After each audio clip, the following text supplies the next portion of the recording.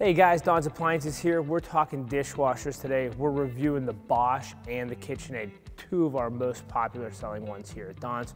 Let's jump right into it. We have the Bosch right here, the benchmark with the crystal drying. So we got it all loaded up. We just wanna show you the soft touch controls in the front, all right? This one is the super silence. This is a 40 dB, so the decibels 40. It's one of the lowest ones in the industry.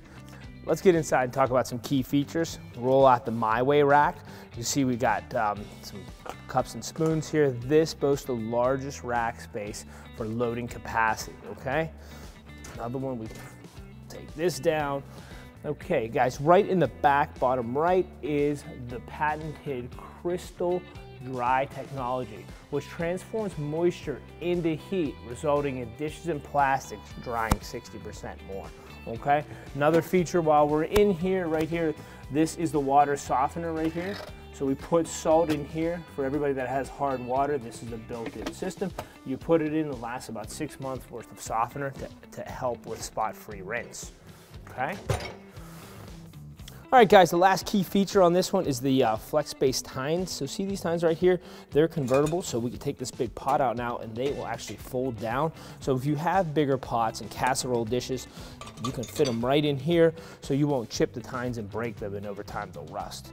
So that's a great feature from Bosch we love. So now, here we go. We're gonna put our pot in here, close it down. We put it on auto, guys, because it senses what we want to do, it'll heat up the tank and it'll select the grime and detect it for us. So we'll hit start, ready to roll. All right, so now you can see the illumination on the ground. So you can see the hologram image right here. Two hours and nine minutes for the auto setting. This is really nice because the decibel level, it shows you it's running right now. Super nice because the decibel level is so quiet that you don't hear it.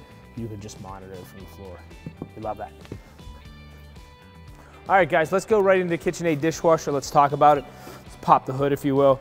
So, um, you know, these are touch screen as well. So right here, you got the washless filter system. So it's a self-cleaning filter. So that's under the Pro Wash setting.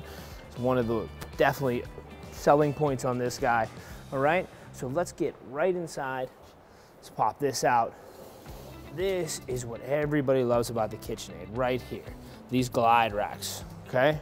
They're called satin glide, all right? So if we do that, there's less wiggle and wobble in there for everything to move around. So the satin glide rack is really good, okay? On this model, this model is a 44 decibel. So we're talking about a little bit higher of a decibel rating than the Bosch, but still quiet for the industry standard, right? Still definitely an upgrade. Let's get, pull this guy out. We got 30 dishes in here too. You're gonna see the drying under here. So we still have a heated dry element. We have a metal spray arm. And this one doesn't have it, but we do offer a third rack system with a dual tube rotating wash. Dual tube rotating wash means that it's actually injecting water into the top and it's gonna spray up on the third rack, okay? Whereas we have a basket down here as well all right, guys, let's go over the five key features between the Bosch dishwasher and the KitchenAid dishwasher, okay? Number one, Bosch is gonna come out with a 40 decibel rating, lowest in the US right now, while the KitchenAid is gonna be right at a 44. Still a little bit different, but you know, still perfect around the um, parameters of all dishwashers, so still pretty low.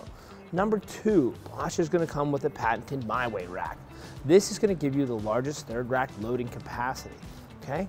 while as the KitchenAid has the max capacity third rack with a dual tube rotating wash system that actually pumps water into the rotator and washes them for, you know, tough stains.